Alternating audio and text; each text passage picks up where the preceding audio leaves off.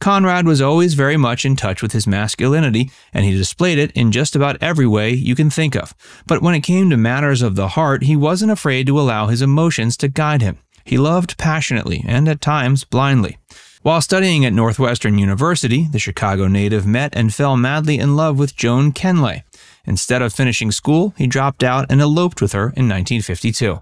Two years after the lovers settled down, Conrad suddenly lost his job as a docker. After getting the axe, he began singing at cafes.